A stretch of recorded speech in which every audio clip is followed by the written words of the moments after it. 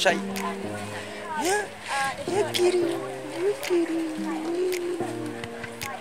Nous sommes à l'Elephant Jungle Sanctuary. Il y a plein de refuges ici en Thaïlande d'éléphants. On a voulu vraiment faire un avec Mathilde. On a choisi celui-ci.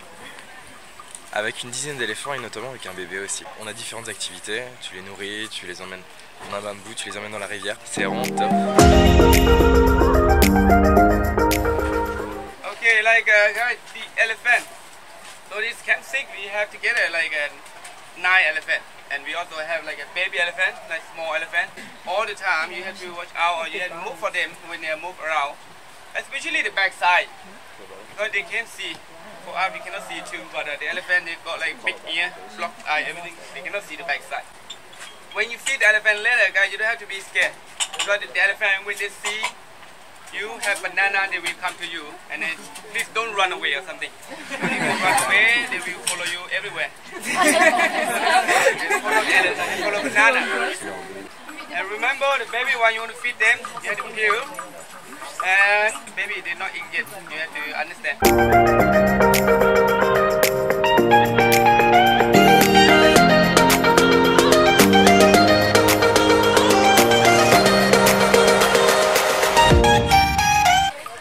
Dingue.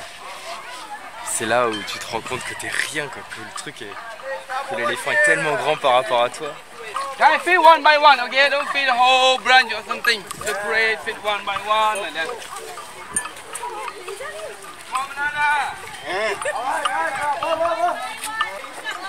Waouh!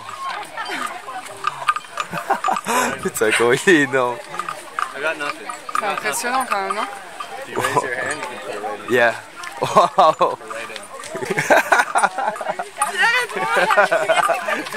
Il leur met des cloches parce que finalement c'est hyper silencieux. Je pensais que ça allait faire un barouf de dingue.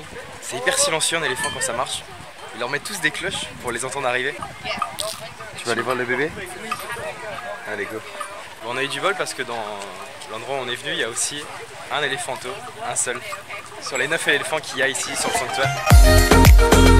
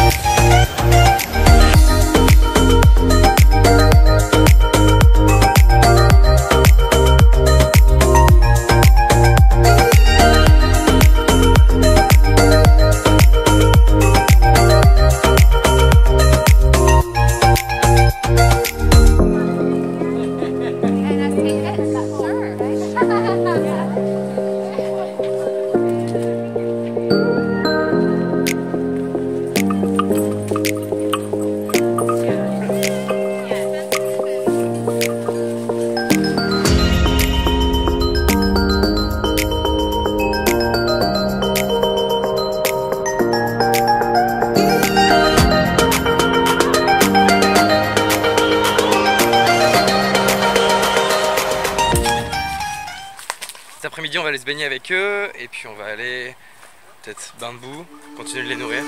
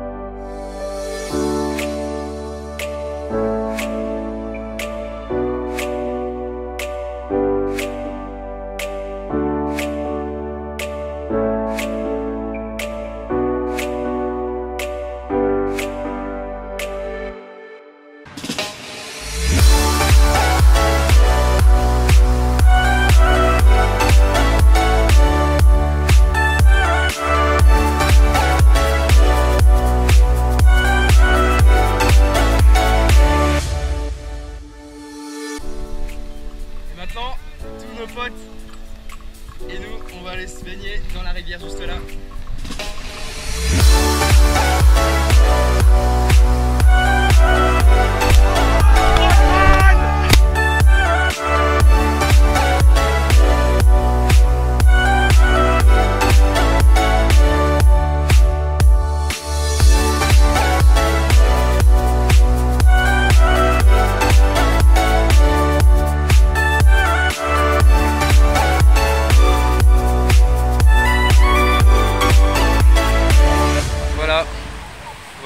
C'était une journée géniale avec les éléphants. Passer toute une journée avec eux, se baigner avec eux, aller dans la rivière juste en bas. Enfin le top, vraiment c'était génial. Je mets tout ce qu'il y a à savoir sur cet endroit et je reviens sur euh, la façon dont les Thaïlandais, enfin certains Thaïlandais, font du commerce avec les éléphants et notamment avec les treks. Donc les treks c'est les images que vous voyez où justement des touristes montent sur des éléphants et font des, treks, donc des randonnées à dos d'éléphants et euh, vont euh, dans la jungle thaïlandaise. Alors pourquoi c'est mal ce genre de truc et pourquoi c'est assez méconnu?